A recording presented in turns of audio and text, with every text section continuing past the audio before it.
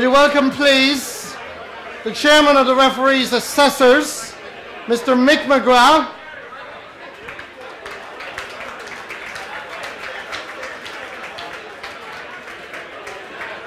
Mick is on the way.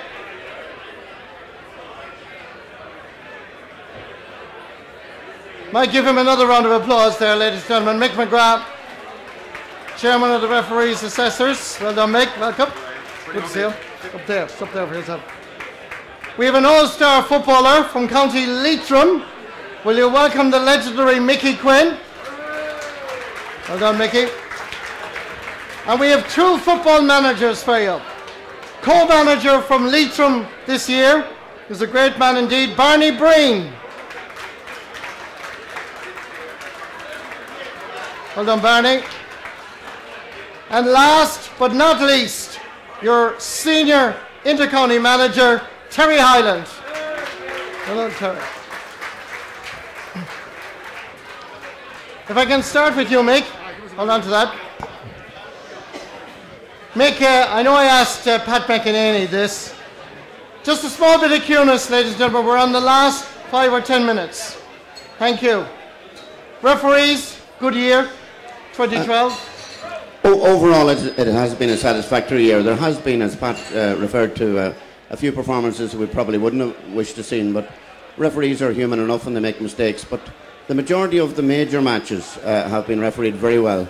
And um, I think it's down to uh, picking a championship squad in both hurling and football um, from the National League, where you pick, the same as county teams pick their best squads, the referees pick their best squads for the championship, and um, most of them have performed very well.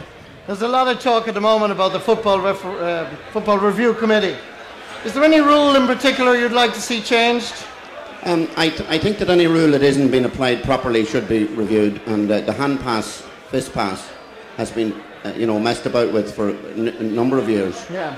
And where somebody goes out and tries to apply it by the rule, he'll probably get hounded by everybody. So there's a mixture of most referees letting it go, and if it's a rule that should be looked at seriously, it, it should be applied, and um, maybe the, the rules committee should look at that one. I, I, but I think the majority of rules in general are being applied, and um, the teams have are applying them properly as well. They've been coached properly. If I can put the microphone to Mickey Quinn. Um, Mickey, football is changing and evolving. Would you like to be playing in 2012? Would you enjoy the game? Don't think so. No, I, I, I think there's too much tactics in the game now. Too there's too much negative tactics in the game. I think uh, teams are gone too defensive, and I think good players aren't really getting a chance to show themselves. I think like the Gooch Cooper or Peter Canavan or, or Maurice Fitzgerald, they would never get a chance to express themselves like what they would 20 years ago, like good footballers would 20 years ago. I think it's too negative, and uh, I think they should try and bring back the Meath style of football or the Kerry style of football more into the game. I think it would be much better for the game, better attraction all round. I think. And Mickey, what do you think of Donegal then? Yeah, well, Donegal has really perfected the game. I think uh, they have a great system and it's very effective, and it's surely a winner for Donegal. And definitely, they seem to be playing a better style of football this year than last year. But uh, I don't think it's very attractive. As I said, for good players, don't get a chance to express themselves. Like if you go back and Jack O'Shea's years or Mick O'Connell's Mm. years, like the catch that time was a big time in the game. It was a big thing in the game, but that's not happening anymore. And I think if they could bring that back into the game, it'll leave it more attractive. Um, Neil Gallagher, wasn't it? Neil Gallagher's Donegal midfielder, yes. He, he really Yeah. brought back the old style fielding last Sunday. Yeah, certainly, yeah, but it's still it's still very negative the game. I think the way it's played. I think if they brought the, as I said, the Meath style of football back or the Kerry style, that is a lot more entertaining. Barney, Jim McGuinness is the, the man that's uh, getting the headlines. Jimmy, Jimmy's winning matches. But you're a manager as well, obviously. So, what do you think his impact has been? I mean, would you agree with the experts that he's kind of changed football a little bit? Yeah, yeah. I suppose for uh, if you look at the Donegal, the top ten teams, the top five teams, you know, the, their goals are very much different than ours. You know, uh, I suppose Jimmy Guinness, he's he's a very intelligent man. Uh, he set up a he set up a stall last year. Everyone says his defence, he got a lot of criticism for it, but that probably was phase one of his long term plan. and uh, he's probably expressed, I suppose, you set up your team not to get beat first of all, Mm. And uh, he probably did that. He perfected that last year, and um, he's just brought it on that 10, 15, 20 percent this year. So he's brought a attacking option into it. So it's paid dividends for him, I think. Do you think Donegal will win the All Ireland? I do. Yeah. Uh, especially after last Sunday. Uh, I thought that, that Cork was going to be the tester for them. Uh, I would have liked to seen a situation where Cork would have been winning by two or three points with 20 minutes to go to see if they had a chase the game, what it'd be like then. Uh, as what happened against Dublin last year, that they couldn't change their tactic to win the game against Dublin. So it'd be interesting to see. Um, but I do think they'll win it now after last Sunday. If I can turn to you finally, Terry. I mean, you're the you're the main man here in Cavan.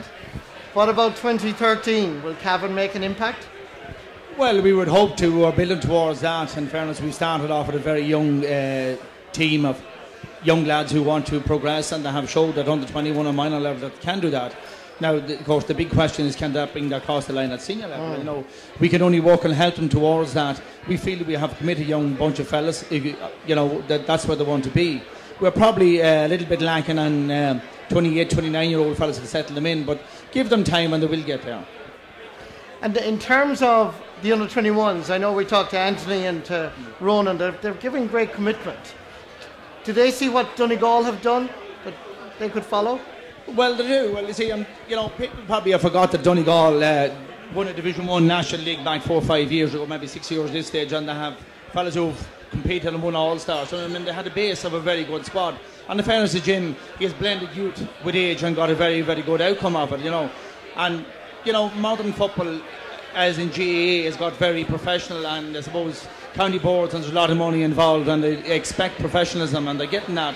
And Donegal have brought that to an extra level, and you know they're getting success because of that. And in terms of football 2012 or 2013, would you change anything? Would you agree with Mickey? Well, I suppose yes. I suppose everybody looks at their own era when they're growing up and watching football, and you would see, you know, the better footballer always excelled, and you know it was the old story that the county footballer when you come back to his club, you'd pick him out because he was the better footballer, and on the county stage, the better footballer shone. Systems have closed that down, but that's the professional era we're in now, and I suppose we copy other sports like soccer and rugby, and we mm. look at how we can stop the other team from playing and how we can use our assets to the best potential, and that's what's going on now. Okay, well, listen, lads, I know that uh, it's been a long night, so I want to thank you for uh, waiting on and being part of our panel. So, Terry Hyland, Barney Breen, Mickey Quinn, and Mick McGrath, give them a big round of applause. Thank you very much indeed. Thank you, lads. Now, ladies and gentlemen, we've come to the end of the evening. We hope that you've enjoyed it, but there is one very important function that has to be done because it's part of the reason why we're all here. Because certainly from my point of view, when I come to do a match in Breffni Park, I always end up here. Because uh, to me, it's not alone just the best spot in, in Cavan, but the, one of the best spots in Ireland. And uh, I think that we should uh, give uh, due respect to Declan Sheridan and, and Claire. But to, to explain the next part of the evening, the last part, and may I say, can I, can I ask you to do an unusual thing? To give yourselves a round of applause, because I know we got a little bit late starting, but once we got thrown in, we kind of moved as fast as we can. So thank you, ladies and gentlemen, for being such a good audience.